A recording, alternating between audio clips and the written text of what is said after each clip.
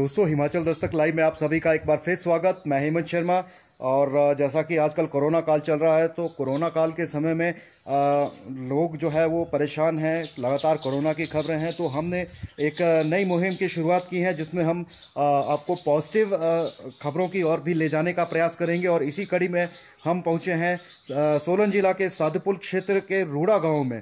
और इस गाँव की अहमियत जो है वो यहाँ इस हिमाचल क्षेत्र के लोगों को और अन्य राज्यों के लोगों को भी जो है वो पिछले तीन साल पहले ही पता चली है, क्योंकि मैं जिस क्षेत्र पर खड़ा हूँ, वो बहुत ही धार्मिक स्थल है और पिछले तीन साल पहले यहाँ पे जो है वो रामालोक मंदिर की स्थापना हुई थी और इसका कार्य अभी भी चल रहा है। करोड़ों की लागत से बने इस मंदिर बन रहे इस मंदिर का निर्माण कार्य अभी भी जारी है और जैसा कि हमें मालूम है, इस स्थान की जो, इस स्थान के विषय में बताया गया है हमारा जो रामचरित मानस है रामायण है, उसमें जो है इस स्थान का ज़िक्र किया गया है। रूड़ा ये स्थान है और श्री राम, भगवान श्री राम का जो है ये स्थान कहा गया है।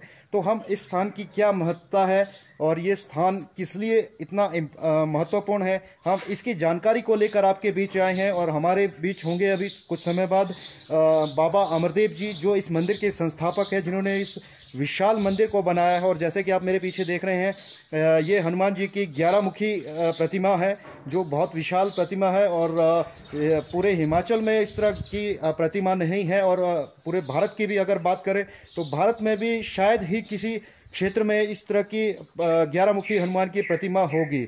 और अभी हम आपको और दर्शन करवाएँगे इस मंदिर में। जो जो प्रतिमाएँ भगवान के स्थापित की गई हैं। इसमें बहुत से देवी देवताओं को स्थापित किया गया है और आने वाले समय में कुछ और मूर्तियों की स्थापना यहाँ पे होगी। तो क्या इस मंदिर की विशेषता है और क्या कुछ इस मंदिर में जो है वो किया जा रहा है, उस को लेके हम आपके सामने आज लाइव हैं और हमारे बीच जो है वो बाबा अमरदेव जी हैं। अमरदेव जी, आपका स्वागत है। और आ, आ, सर हमें बताएँ कि ये जो आ, रामालोक मंदिर है पिछले तीन साल पहले ही इस मंदिर की जो है वो स्थापना की गई थी। तो ये मंदिर कैसे आप यहाँ इस मंदिर की स्थापना हुई और क्या इसके पीछे का इतिहास है थोड़ा हमें उसकी जानकारी दें। इस मंदिर की स्थापना भगवान वाल्मीकि के आदेशानुसार प्रभु श्री राम को जो उन्होंने वन गमन के समय जब उनके आश्रम में आए भगवान वाल्मीकि के तो उन्होंने उनसे चौदह स्थान बताए थे, जिसमें से एक ये गिरिरूड़ा जो इस स्थान का नाम है, वो है। और ये भगवान वाल्मीकि के बानी को सत्य करने के लिए प्रभु श्री राम ने इस स्थान को अपना निवास स्थान बनाया है। और वास्तविक रूप में ये प्रभु श्री राम का महल है, सूर्यवंश का महल है और इस मंदिर का निर्माण चूँकि सूर्यवंश का महल है, इसलिए राजपुताना शैली में किया जा रहा है। और ये जो महल बनने जा रहा है यहाँ पर, ये अभी रामलोक के नाम से प्रसिद्ध है, लेकिन आने वाले वर्षों में ये किंग ऑफ़ अयोध्या, पृथ्वीपति महाराज दशरथ जी के, दशरथ महल के नाम से प्रसिद्ध होगा, जिनमें से इस महल के एक हिस्से का नाम कनक भवन के रूप में प्रभु श्री राम का निवास स्थान वो श्री राम लोक होगा। बाबा जी क्या विशेषताएँ इस मंदिर की रहेगी? हिमाचल वैसे ही देवती देव, देवी देवताओं का जो है वो आ, राज्य कहा जाता है। तो ऐसे राज्यों में जो है एक और भव्य मंदिर का निर्माण क्या आ, मकसद रहा है इस मंदिर के निर्माण के लिए? वास्तविक में इसका मकसद तो भगवान शिव और सप्तऋषि जाने मेरे लिए तो यही है कि हम जो अपने यज्ञ करते हैं तो जिन भी भगवान के, जिन भी देवी देवताओं के, सप्तऋषियों की कृपा से, भगवान शिव की इच्छा से मुझे दर्शन हुए।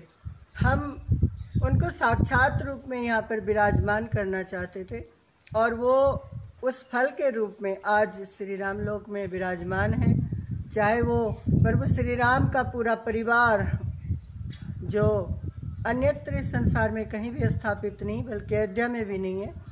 और यहाँ पर ग्यारह मुखी हनुमान जी, पंचमुखी हनुमान जी, माता काली, माता दुर्गा और ये हमने माता हाटकोटी में वादा किया था। तो माता दुर्गा, महिषासुर मर्दनी, श्री राधा कृष्ण जी शनिदेव आजकल लोग यमराज की पूजा कर रहे हैं, भैंसे पर बैठा के। वास्तविक में शनिदेव की स्थापना और शनिदेव की प्रतिमा देखनी हो तो वो आपको रामलोक में मिलेगा, क्योंकि वो गिद्ध पे विराजमान होते हैं और हमारी सारी इच्छाओं को पूर्ण करते हैं। वो रामलोक के कोषाध्यक्ष भी हैं और यहाँ पर भगवान शिव, माता पार्वती, जिनके सामने हमेशा प्रभु श्री राम विराजमान है, जो संसार में कहीं नहीं है। यहाँ पर ऐसा शिवलिंग है जिसमें कैलाश पर्वत अंकित है। जो अपने आप निर्मित हुआ है, स्वयंभू है और नवग्रह यहाँ पर विराजमान है। और सिरमौर के सूर्य भगवान परशुराम जी, जो माता रेणुका के पुत्र हैं, वो यहाँ पर विराजमान है और संसार के पालन करता सृजन करता संहार करता भगवान ब्रह्मा जी, भगवान विष्णु जी और भगवान शिव जी भी यहाँ विराजमान हैं। और चूँकि बैकुंठ लोक जाने का जो रास्ता है वो नागलोक होकर के जाता है। इसलिए अभी कुछ दिनों से यहाँ पर नागलोक का निर्माण शुरू किया गया है। नागलोक की विशेषता ये रहेगी कि जिनको काल सर्प दोष होता है, पितृ दोष होता है, और जो खास करके जिनको संतान नहीं होता, क्योंकि काल सर्प दोष के चौदहवें पदम नामक योग के दोष के कारण ही किसी को, गृहस्थ को संतान नहीं होता। तो वो सब यहाँ पर सिर्फ़ नाक का जोड़ा और उनको दूध चढ़ाने मात्र से उनका उसी समय, उसी क्षण काल सर्प दोष से उनको मुक्ति मिल जाएगी, पितृ दोष से मुक्ति मिल जाएगी और उनको संतान भी प्राप्त होगा। ये नागलोक की विशेषता होगी। जी। बाबा जी जहाँ तक मेरी जानकारी है और मुझे भी पूरा अनुमान है कि हिमाचल में ये पहला ऐसा स्थल होगा जहाँ पर देवी देवताओं की इतनी ज़्यादा मूर्तियाँ विराजमान होंगी। तो इतने सारे देवी देवताओं का एक स्थान पर एकत्रित होना, ये कितना बड़ा समागम हम मान सकते हैं? ये वास्तव में हिमाचल ही नहीं, पूरी दुनिया में ये पहला स्थान है, जहाँ पर सभी देवी देवता विराजमान है। उसका सबसे बड़ा जो कारण है, वो भगवान श्री राम जी का यहाँ पर विराजमान होना है, क्योंकि भगवान श्री राम चौदह ब्रह्मांड के मालिक हैं। और उनकी सेवा के लिए ये सब यहाँ पर विराजमान है। सत्ताईसों नक्षत्र, नौ ग्रह, बारह राशियाँ, दसों दिशाएँ, अष्ट सिद्धियाँ, नवनिधियाँ, रिद्धि सिद्धियाँ, जितने भी देवी देवता हैं, तैतीस करोड़, नाग, किन्नर, गंधर्व, सभी यहाँ विराजमान हैं। और सभी के, सभी को राम जी के आशीर्वाद की ज़रूरत है, क्योंकि उसी के उन्हीं के आशीर्वाद से वो चौदह ब्रह्मांड का संचालन करेंगे। इसलिए यहाँ पर आपको ये सारा समागम देखने को मिल रहा है। बाबू जी आ, इतने सारे देवी देवताओं के एक साथ दर्शन ये कितना फल जो है वो किसी श्रद्धालु को दे पाएँगे? वास्तविक में कहा जाता है कि इंसान को अगर आपने अंत समय में राम नाम मुख में नहीं लिया तो उनको मोक्ष की प्राप्ति नहीं होती। लेकिन वास्तविक राम जी का स्वरूप किसी को दिखा ही नहीं आज तक पता ही नहीं है कैसा है। जी। तो इंसान जिसने एक बार भी प्रभु श्री राम का दर्शन कर लिया वैसे तो यहाँ पर सब नहीं आ सकते क्योंकि जिनको प्रभु श्री राम की कृपा नहीं होगी वो यहाँ पर नहीं पहुँच सकते। लेकिन जिसने भी एक बार दर्शन कर लिया तो वो मोक्ष का अधिकारी ज़रूर बन जाएगा। और दर्शन के बाद अगर वो निरंतर राम का नाम लेते हैं कोई ज़रूरी नहीं है दोबारा यहाँ पर आए। लेकिन अगर वो घर में भी उनको याद करते हैं नाम लेते हैं तो उनको अवश्य मोक्ष प्राप्त होगा और उनको गति मिलेगी।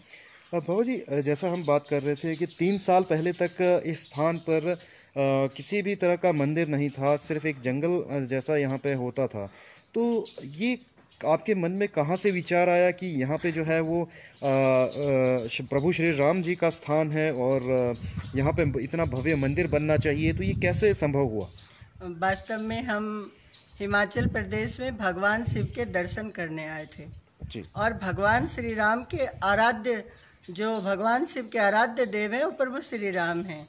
तो ये भगवान शिव की इच्छा है क्योंकि भगवान शिव का ये ससुराल है माता पार्वती का के पिताजी का राजा राजा हिमाचल उनका राज है ये। ये राजा हिमाचल का राज्य है। और इसी वजह से भगवान शिव ने अपने आराध्य देव की यहाँ पर स्थापना की। मुझे तो एक माध्यम चुना और अपना बच्चा समझ के उन्होंने वास्तव में तो जो भी हो रहा है जैसा भी हो रहा है ये सप्तऋषियों की इच्छा है और भगवान शिव की इच्छा है। जब हम यहाँ पर आए थे तो यहाँ पर झाड़ियाँ होती थी कटीली झाड़ियाँ।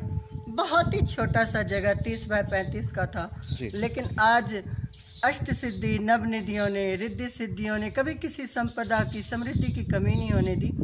और जिस स्थान का स्वयं ट्रेजरर कोषाध्यक्ष शनिदेव हो वहाँ पर धन की कोई कमी नहीं हो सकती। और आज हम आपको बताना चाहते हैं कि ये जो महल है ये दुनिया के सबसे बड़े राजमहलों में से एक होगा।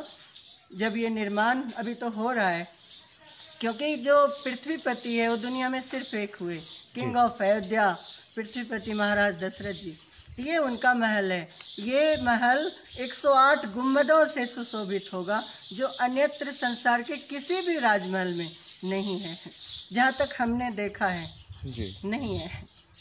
बाबू जी बहुत बड़ी बात और एक चीज़ जो इस मंदिर को लेके रहती है कि इसका निर्माण जो है वो काफ़ी महँगी जो धातुएँ हैं और महँगे जो पत्थर हैं बेशकीमती पत्थर हम कह सकते हैं उन उनसे निर्माण किया जा रहा है।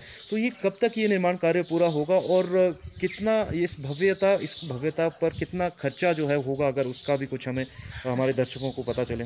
अभी तक इस मंदिर पर जो निर्माण कार्य पे खर्च हुआ है वो 117 करोड़ के करीब हो गया है।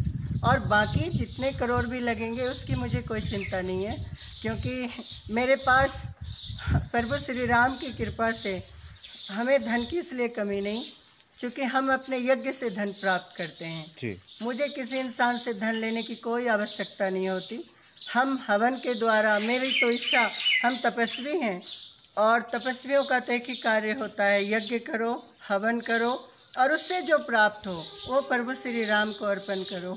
तो मुझे जो भी यज्ञ से प्राप्त होता है, मुझे जिस चीज़ की भी ज़रूरत होती है, वो हम सप्तऋषियों को बता देते हैं और वो हमारी इच्छा पूरी कर देते हैं। इसलिए धन की कोई यहाँ कमी नहीं हो सकती। वास्तव में अगर किसी चीज़ की कमी होती है तो वो भावना की होती है और विश्वास की होती है। वो हमारे पास जब तक प्रभु श्री राम की इच्छा है, मेरा विश्वास है कि हम किंग ऑफ़ अयोध्या का वो दशरथ महल यहाँ स्थापित करने में अवश्य सफल होंगे। और पूरे हिमाचल प्रदेश ही नहीं, पूरे विश्व में हिमाचल प्रदेश का, ये भारतवर्ष का जम्बू द्वीप का, आर्यावर्त का नाम होगा। और ये वास्तव में पूरे ब्रह्मांड की शक्ति का केंद्र होगा। दुनिया में कोई भी इंसान हो अगर वो प्रभु श्री राम का आशीर्वाद पाना चाहते हैं तो यहाँ पर आ कर के उनको उनका आशीर्वाद मिलेगा। और वो इस संसार से मुक्त हो जाएँगे। चौरासी लाख योनियों से उनको मुक्ति मिलेगी।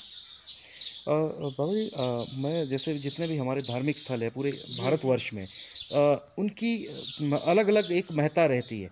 हमारे हमारे इस रामालोक मंदिर की क्या महत्ता रहेगी अ, क्या महत्व रहेगा जो यहाँ दर्शन करेगा उसको किस तरह के सुख मिलेंगे क्या उसके कष्ट दूर होंगे तो थोड़ा सा उस पर भी अगर प्रकाश आपकी तरफ़ से डाला जाए। संसार में जो श्री राम लोक है श्री राम लोक की स्थापना में एक संकल्प है कि किसी का कोई भी कष्ट हो वो सिर्फ़ श्री राम जी के दर्शन से ही प्रभु श्री राम के उनके कष्ट दूर हो जाएँगे। यही इस स्थान का सबसे बड़ा महत्व होगा। क्योंकि प्रभु श्री राम के आदेश से ये सृष्टि जो है, वो नवग्रहों के द्वारा, देवी देवताओं के द्वारा संचालित होता है और वो सब प्रभु श्री राम के अधीन है। तो सबसे बड़ा महत्व होगा कि उनके कोई भी कार्य, कोई भी कष्ट, कोई भी दुख वो सब यहाँ पर खत्म हो जाएँगे। और जैसा कि हमने आपको कहा, यहाँ पर नागलोक की भी स्थापना हो रही है। तो जो नागलोक से लाभ मिलने वाला होगा इस सृष्टि को, वो सब मिलेगा। उसका कारण है कि हर मनुष्य जो है पाँच ऋण लेके उत्पन्न होता है। देव ऋण, पितृ ऋण, गुरु का ऋण माता पिता ऋण और नाग ऋण। ये पाँचों ऋण से अगर किसी को मुक्ति पाना होगा तो उसके लिए प्रभु श्री राम के लोक में आना उनके लिए अनिवार्य भी है और उनके दर्शन से ये पाँचों ऋण से वो मुक्त हो जाएँगे। बाबा जी बहुत बहुत शुक्रिया आपका। आपका समय हमने लिया और हम अपने दर्शकों को दिखाना भी चाहेंगे क्या कुछ यहाँ पे निर्माण चल रहा है। दोस्तों, जैसा बाबा जी ने हमें बताया कि 108 गुंबद जो कि पूरे विश्व में कहीं भी किसी मंदिर में नहीं है तो 108 गुंबद से ये निर्माण किया गुंबद जो है इस मंदिर में स्थापित किए जाएँगे।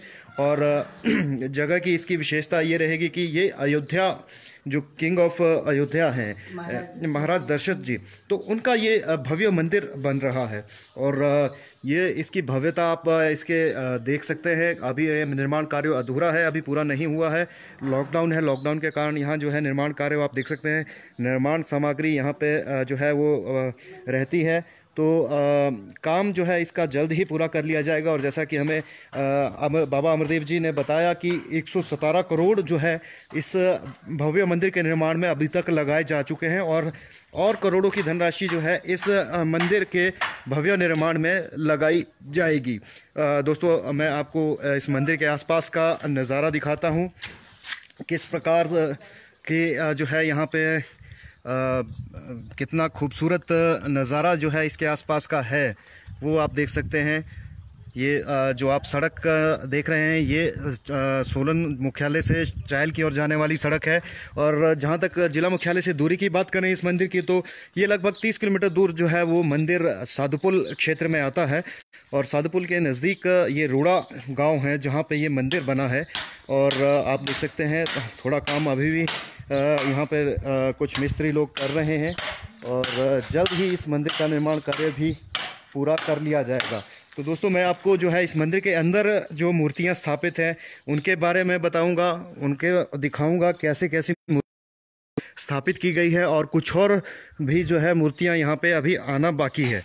और जहाँ तक मुझे जानकारी है, काफ़ी महँगी धातुओं से बनी मूर्तियाँ और काफ़ी भव्य मूर्तियाँ जो है इस मंदिर में स्थापित की गई हैं जिनको देखकर आप भी खुद को काफ़ी अभिभूत महसूस करेंगे क्योंकि इस मंदिर में जो मूर्तियाँ बनी हैं हिमाचल में शायद ही किसी मंदिर में इतनी भव्य और इतनी बड़ी बड़ी मूर्तियाँ आपको देखने को मिलेगी।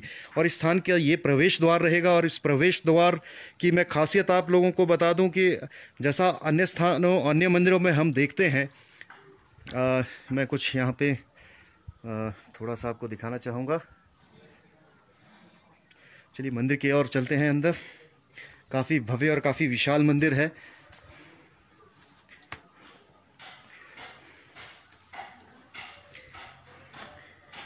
तो दोस्तों, मैं मंदिर की खास जा रहा हूँ।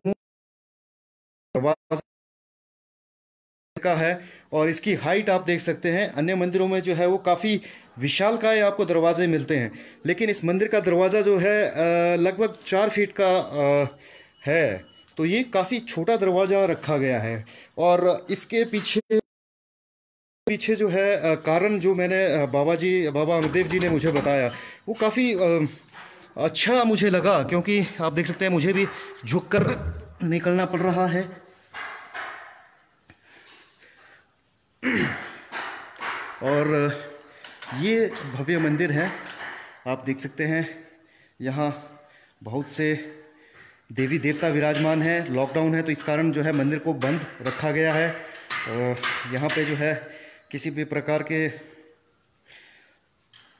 भगत आपको नहीं दिख रहे हैं, क्योंकि इन दिनों जो है वो मंदिरों को पूरी तरह से बंद किया गया है कोरोना के कारण।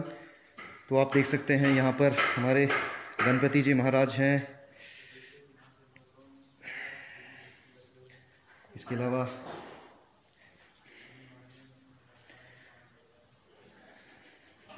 शिव जी हैं, पार्वती जी हैं। और ये पंचमुखी हनुमान जो है, यहाँ विराजमान है। आप देख सकते हैं, हर मूर्ति आगे जो है एक दिया यहाँ पे जलाकर रखा गया है तो पूजा जो है वो रोज़ाना इस स्थान पर की जाती है। और जैसा कि मैं आपको मंदिर के दरवाजे को लेकर बात कह रहा था तो दरवाजे की विशेषता ये है जैसा कि बाबा अमरदेव जी ने हमें जानकारी दी उनके अनुसार जो है वो मंदिर में जब आप जाते हैं तो भगवान के आगे झुकते हैं। तो इसी विशेष कारण से जो है इसके दरवाजे को चार फीट का दरवाज़ा जो है प्रवेश द्वार का रखा गया है, ताकि जो भी कोई मंदिर में प्रवेश करे, वो भगवान के आगे झुके। तो ये ही इसका एक मकसद है और ये जहाँ तक मैंने मंदिरों में, जितने भी मंदिरों में गया हूँ, मैंने कहीं भी इस प्रकार का जो है वो प्रवेश नहीं देखा है तो एक काफ़ी अलग चीज़ इस मंदिर में देखने को मिली है। और आप देख सकते हैं काली माता और भगवान शिव की जो है यहाँ पर प्रतिमा है, काफ़ी बड़ी विशालकाय प्रतिमा है, आप देख सकते हैं, और ये भी धातु की बनी प्रतिमा है, काफ़ी बड़ी है, और लगभग लगभग ये पंद्रह फुट या पंद्रह से बीस फुट के बीच में जो है ये प्रतिमा है। तो काफ़ी विशाल प्रतिमाएँ जो हैं इस मंदिर में स्थापित की गई हैं। कहीं संगमरमर का पत्थर प्रयोग किया गया है तो कहीं अष्ट धातु जो है वो प्रयोग की गई है। ये आप देख सकते हैं माँ दुर्गा है और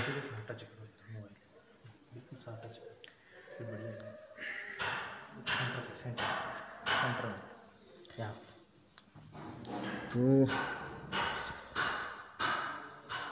ये देख सकते हैं आप। माँ दुर्गा, काफ़ी विशाल मूर्तियाँ यहाँ आप देख सकते हैं।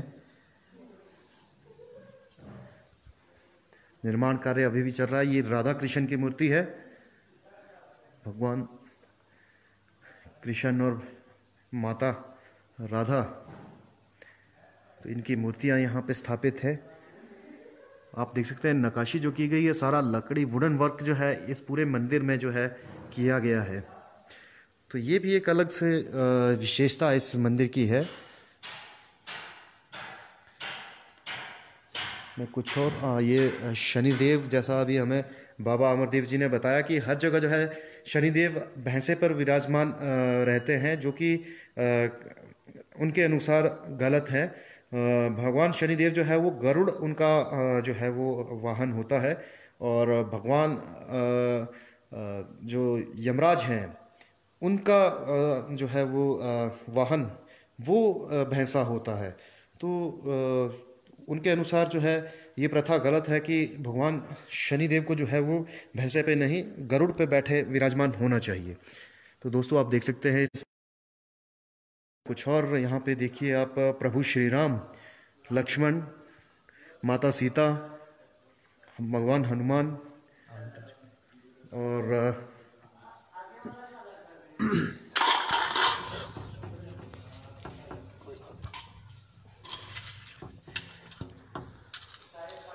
तो ये आप, देख सकते हैं यहाँ पर। पूरा राम परिवार यहाँ पर मौजूद है। काफ़ी भव्य ये मूर्तियाँ। उम्मीद है आप लोग जब इसको लाइव खुद आके यहाँ इस मंदिर में आके देखेंगे तो आपको बहुत ही आनंद और सुख की अनुभूति होगी इस मंदिर में आने के बाद। और ये मूर्ति है। ये आप देख सकते हैं भगवान विष्णु भगवान ब्रह्मा और भगवान महेश। तो ये इनकी मूर्तियाँ हैं। काफ़ी विशाल ये मूर्तियाँ हैं। लगभग लगभग जहाँ तक हमारा अनुमान है तो ये आप देख सकते हैं, पंचमुखी ये भगवान शिव हैं। और इस तरह की मूर्तियाँ आपने शायद ही कहीं पूरे भारतवर्ष में देखी होंगी किसी भी मंदिर में। तो इस मंदिर की यहाँ बहुत सी के जो है वो रूप भगवान के देखने को मिलेंगे। ये आप देख सकते हैं यहाँ पे आ, दिया गया है कौन कौन से विराजमान है भगवान यहाँ पर।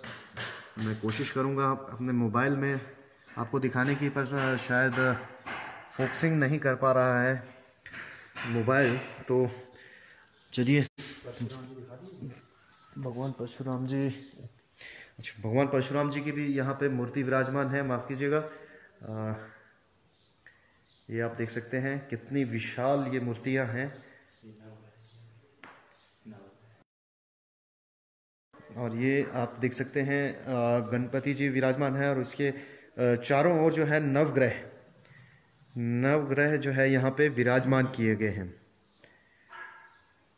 तो दर्शकों, आपको इस तरह की जो एक स्थान पर इतने अधिक देवी देवताओं की प्रतिमाएँ शायद ही आपने किसी मंदिर में देखी होंगी और हर एक प्रतिमा का अपना एक अलग से धार्मिक महत्व है। तो दोस्तों हम बाहर की ओर चलते हैं। देखते हैं।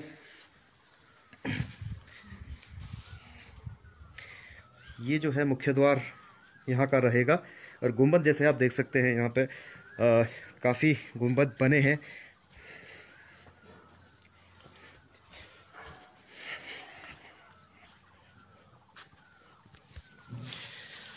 तो दोस्तों, ये था रामालोक मंदिर, रूड़ा ये जगह है, जिला सोलन से, जिला सोलन का ये रूड़ा स्थान है, साधुपुल के नज़दीक है, और सोलन मुख्यालय से जो है, ये 30 किलोमीटर की दूरी पर स्थित ये मंदिर है, जिसका कि अभी निर्माण कार्य चल रहा है। और जैसा मैंने जानकारी दी, एक करोड़ से जो है, इस मंदिर के निर्माण पर लग चुके हैं, और काफ़ी धनराशि और इस मंदिर को और भव्य बनाने के लिए अभी लगेगी। तो ये एक बहुत ही भव्य मंदिर हिमाचल प्रदेश का बहुत ही विशाल और भव्य मंदिर बनने जा रहा है, जिसके निर्माण कार्य पूरा होने पर आप इसकी भव्यता को देख सकेंगे। और फ़िलहाल अभी के लिए इतना ही। हम रोज़ाना इसी तरह से कुछ ना विशेष जानकारियों के साथ आपके साथ होंगे कुछ विशेष मंदिरों के साथ आप, आपके साथ जुड़ेंगे। जैसा कि आपने पिछले कल देखा होगा माँ शूर्णी की आरती हमने आपको दिखाई थी। तो इसी तरह से कुछ ना कुछ हम नया एक पॉजिटिव सोच के साथ आप लोगों के साथ जुड़ेंगे। तो फ़िलहाल अभी के लिए धन्यवाद।